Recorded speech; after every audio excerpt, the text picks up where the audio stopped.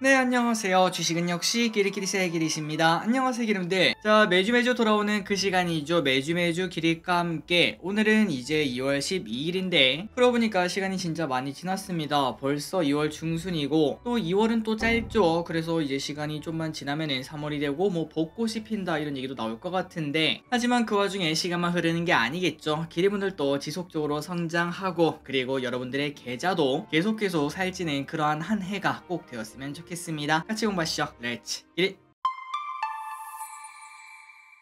아 그리고 여러분들 이거는 꼭 잊지 마시기 바랍니다. 요즘 들어 특히 이런 유튜브에 이런 사기가 많더라고요. 서 기릿을 사칭해가지고 아 이거 개인 상담 해드릴게요 라고 말한 뒤에 뭐 어쩌고 저쩌고 뭐 상담 신청을 선택해라 이런 얘기를 하고 있는데 당연히 100% 사기라는 거 게다가 저뿐만 아니라 다른 유명 유튜버에도 정말 많은 사기꾼들이 펼쳐져 있는 걸 확인을 했습니다. 그러니 여러분들 절대 절대 저도 그렇고 그다음 다른 것도 그렇고 이런 거 절대 속지 마시기 바랍니다. 항상 잊지 마시기 바랍니다. 공짜는 없습니다. 자, 이 영상은 이렇게 나눠져 있습니다. 이번 주 증시 흐름 정리, 이번 주 매도 및 연기금 외국인 매수 상위 정리, 이번 주 큼지막한 뉴스 정리, 그리고 마지막으로 다음 주에 있을 큼지막한 뉴스를 정리를 해보도록 하겠습니다. 이 영상은 이제 매주 일요일마다 올라올 예정이고 위 네 가지를 정말 심플하게 다룹니다. 그러니 기분들이 이제 일을 하다가 좀 바쁘다 보면은 솔직히 저기리시 영상을 올리는 시간이 하루에 2, 30분 정도 내입니다. 그런데 그 시간 2배속으로 본다고 하더라도 쉽지 않겠죠. 일에 정말 지치고 피곤하다 보면은 하루 30분 공부도 정말 힘든 걸 확인할 수 있는데 하지만 매주 일요일마다는 아 이번 주 증시 흐름은 이런 식으로 흘러갔구나 이 정도로 간단하게는 꼭 공부하셨으면 좋겠습니다. 이 영상이 한 10분 내에 공부하지만 그런 흐름을 잡는 데는 꼭 도움이 되길 진심으로 바라며 매주 매주 꼼꼼하고 기름들에게 도움되게 열심히 만들도록 하겠습니다. 그럼 이제 내용으로 들어가도록 하겠습니다. 코스피는 보합권이었습니다. 0.4% 하락했고 차트만 보더라도 아 이거 그냥 위아래 왔다 갔다 하는 모습을 나타내는구나 라는 걸볼 수 있죠. 그래서 지금 코스피는 2500을 코앞에 두고 뭔가 안 보이는 벽에 부딪힌 듯한 그런 느낌이 들지만 과연 이 흐름 우리가 지난달부터 말했던 2월 달에는 뚫고 올라갈 수 있을지 확인을 해보도록 하겠습니다. 그리고 삼성전자도 슬금슬금 올라가는 모습을 조금은 나타내고 있습니다. 21선을 타고 올라가고 있죠. 과연 이 상승이 한번 나타날 수 있을지 아마도 이번 주에 있을 미국 CPI에 달려있다고 보고 있습니다. 그리고 코스닥은 강한 모습을 나타냅니다. 혹시 기름들 한 2, 3주 전에 우리가 공부했던 내용 기억 나시나요? 확실히 코스피보다는 코스닥이 안 좋은 흐름을 나타냈습니다. 코스피는 121선을 뚫고 올라왔었지만 코스닥은 지속적으로 뚫지 못하고 지지부진한 모습을 나타냈죠. 하지만 세상은 모든 게 키맞추기라는 게 존재하고 있는 것 같습니다. 한쪽이 좋고 한쪽이 나쁘면은 결국 시간이 지나면은 한쪽은 또 고평가되었다 이런 얘기와 함께 조금 쉬어가고 다른 쪽에 올라가는 그런 흐름을 만들어내죠. 그래서 이 코스피 코스닥도 강했던 코스피는 조금 쉬어가고 코스닥은 이번 주에도 0.7%나 상승 최근 들어 쭉쭉 쭉쭉 올라가는 걸 우리가 확인할 수 있습니다. 그렇기 때문에 기르분들의 계좌는 보통은 코스닥에 편중된 편이 많기 때문에 아마도 이번 주도 나름 괜찮은 주였다 라고 평가를 내리실 것 같습니다. 이 상승세 계속 나오는지 보도록 할게요.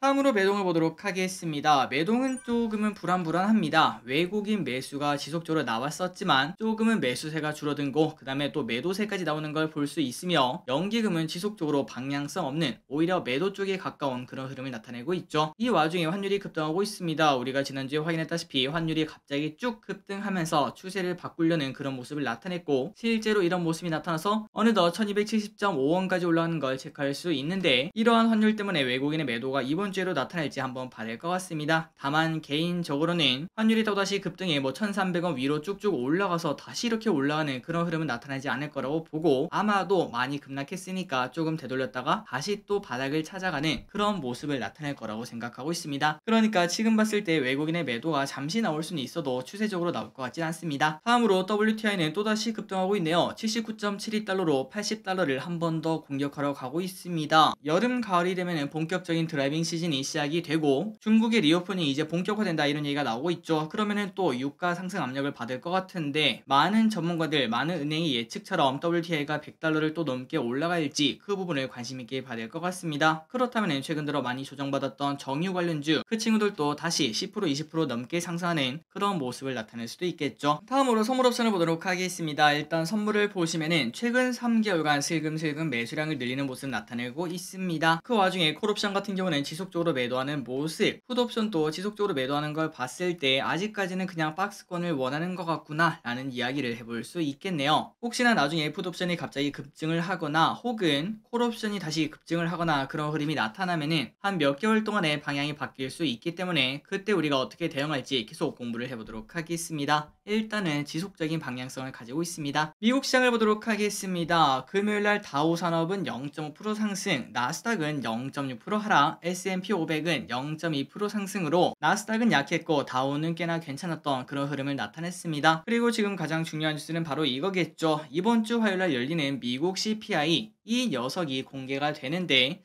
야, 과연 어떻게 나올까? 여기에 전 세계가 주목을 하고 있습니다. 여러분들이 아시다시피 이번 주에 연준 인사들이 나와서 금리 계속 올려야 된다 이런 얘기를 하고 있는데 하지만 CPI가 어 뭐야 확실하게 잡히고 있잖아 라는 이야기가 나온다면은 그냥 그거는 하나의 해프닝으로 끝나고 최근 들어 증시 상승이 좀 막혀 있었는데 다시 한 번 더 급등하는 모습을 나타낼 수 있겠죠. 그리고 그 반대도 물론 가능하기 때문에 일단은 화요일까지는 눈치 보기를 할 것 같습니다. 미국 채권은 슬금슬금 올라오고 있습니다. CPI가 혹시나 안 잡히면 어떡하나 이러한 예상 예상이 좀 나오는 것 같죠. 그리고 개인적으로 혹시나 이번에 미국 채권이 4.0을 뚫고 올라간다면 그때가 아마도 마지막 채권 매수 기회가 아닐까라고 보고 있습니다. 그리고 최근 들어 환율 오르는 것처럼 미국 달러 인덱스도 슬금슬금 올라가는 모습을 나타내고 있는데 아직까지 큰 반등이 나오고 있는 건 아닙니다. 그러니까 환율이 더 튄다 이러한 걱정은 안 해도 될 것 같습니다. 다음입니다. 코인을 보도록 하겠습니다. 일요일 보니까 조금 오르는 모습을 나타내더라고요. 차트를 보시면은 이렇게 쭉 떨어졌다가 다시 다시 쭉 올랐다가 예전에 그때 엄청나게 시달렸던 3천만원 미만 그 라인에서 이번에도 머무는 걸 확인할 수 있는데 요 녀석도 과연 이번에 3천만원을 뚫고 올라갈지 한번 보도록 하겠습니다. 어쨌든 이런 걸 종합을 해봤을 때 코스피는 월요일날 소폭 상승 출발로 예상을 해볼 수 있고 다만 이 와중에 코스피는 조금 좋고 코스닥은 살짝 나쁘게 출발할 확률은 분명 있겠죠. 다우와 나스닥이 그랬기 때문에 그 부분을 생각해 보시면 좋을 것 같습니다. 자 이번 주 증시 전망을 보도록 하겠습니다. 화요일날 발표되는 CPI 사실상 여기에 앞으로 한 달간의 전망이 달려 있습니다. 그렇게 월요일부터 화요일까지는 눈치 보기가 나올 것으로 보이며 개인적으로는 지난주에 파월 의장이 디스인플레이션을 언급한 바 있기 때문에 CPI가 크게 난리치지 않는다면 또다시 상승 반전 가능성이 있다고 생각합니다. 그리고 이번 주에 우리나라에서 강했던 섹터는 MLCC 관련주, reopening 관련주, 중국 reopening 관련주라고 볼 수 있겠죠. 그리고 음식료, 엔터, 전기차 등이 이렇게 상승을 했는데 과연 이 상승이 이어나갈지 한번 기분 내용 확인해 보시면 좋을 것 같고 특히 MLCC가 조용한 상승을 이어나가고 있다고 합니다. 어떤 기업이 있는지 한번 확인해 보시기 바랍니다. 그리고 이번 주 증시 상승 동력은 중국의 정책 기대감, CPI 안정 이 두 개라고 충분히 볼 수 있기 때문에 일단 화요일까지는 숨죽이고 한번 지켜봐야겠죠. 좋은 결과 있기를 진심으로 바랍니다. 다음입니다. 이번 주에 연기금과 외국인은 무엇을 샀는지 보도록 할게요. 연기금입니다. LG전자, LG엔솔, 네이버, 현대차, 기아,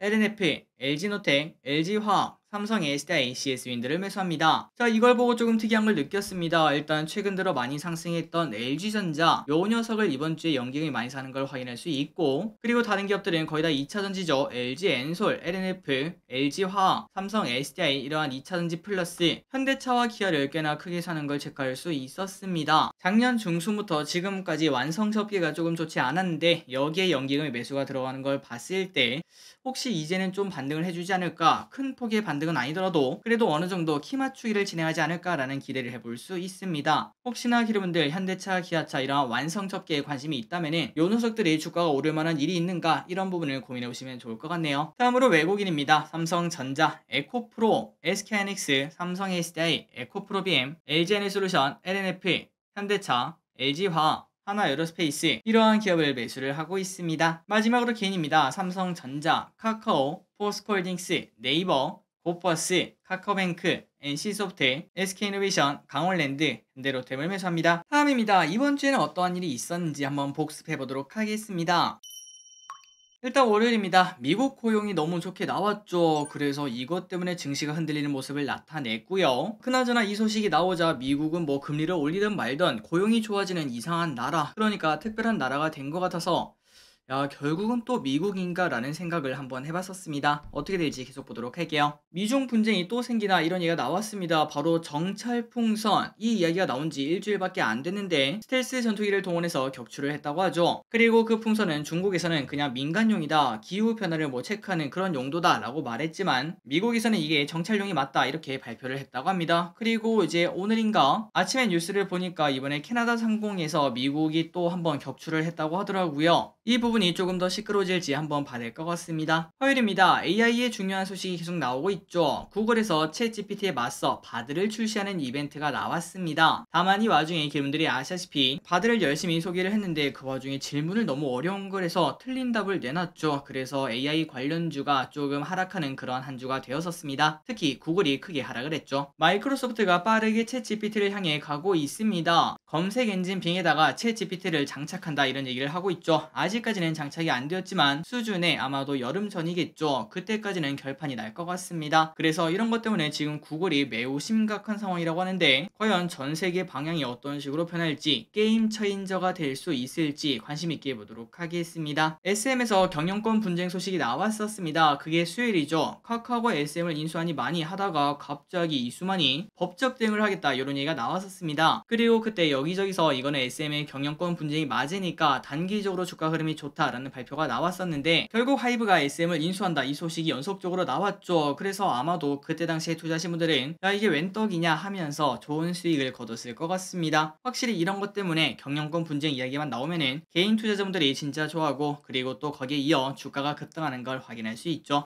마지막으로 이런 소식도 있었습니다. 금요일 날 네이버에서 AI 전문 회사에 관련된 공시를 한다고 했죠. 그런데 이번에 공시가 나왔지만 아직까지는 밝혀진 바가 없다고 합니다. 한번 읽어보자면 이혜진, 손정희 AI 동맹 수조원 쏟아붓는다. 이 내용에 대해서 다양한 방안을 검토를 하고 있으나 아직까지 결정된 바는 없다. 그래서 앞으로 내용이 확정되는 시점 또는 6개월 이내에 재공시를 한다고 하니까 아직까지는 좀 기대감이 있지 않나 라는 이야기는 해볼 수 있겠네요. 마침 또 AI에 관심이 많기 때문에 이 흐름을 네이버가 놓치진 않을 것 같습니다. 마지막입니다. 다음 주에 있을 뉴스 빠르게 확인하고 끝내보도록 하겠습니다. 월요일입니다. 한미일 외교차관 협의에 3국의 안보 협력을 강화하기 위한 계획을 논의를 한다고 합니다. 자 화요일입니다. 가장 뜨거운 뉴스죠. 미국 소비자 물가지수 발표 목요일입니다. 미국 생산자 물가지수 발표 마지막으로 마지막으로 금요일에는 미국 옵션 만기일이 있습니다. 그리고 갤럭시 S23이 출시를 하고 HMM 매각 컨설팅 자문사 결정이 나온다고 합니다. 또 이때 전후로 HMM이 급등할지 보도록 하겠습니다. K클라우드 얼라이언스 활동이 시작을 한다고 합니다. 국내 AI 반도체에 대한 수요를 창출하고 관련 생태계를 조성하는 게 목표라고 합니다. 여기도 AI네요. 마지막으로 이후 대한항공 아시아나 합병 심사 결과 발표가 있기 때문에 대한항공과 아시아나 여기에 대한 또 급등이 나올지 아니면 어떤 흐름이 나올지 확인해 보도록 하겠습니다. 다다음 주에는 미국 2월 PMI 발표, FMC 회의록 공개, 소니에서 차세대 VR 기기 출시, 금융통화위원회가 열리고 1월 생산자 물가지수 등 이런 것들이 발표가 된다고 합니다. 참고하시기 바랍니다. 이 와중에 또 중요한 뉴스가 있네요. 엔비디아 실적 발표도 있다고 하니까 체크하도록 할게요. 마지막으로 이제 달력을 보고 마무리하시면 될 것 같습니다. 13일부터 17일까지 이러한 일정이 있으니까 여러분들 꼼꼼하게 다 챙기시고 특히 이번 주에도 공모주 상장도 많고 청약도 존재하고 있죠. 어떤 결과가 나올지 계속 관심 가지고 보도록 하겠습니다. 3초 뒤에 넘어가도록 할게요.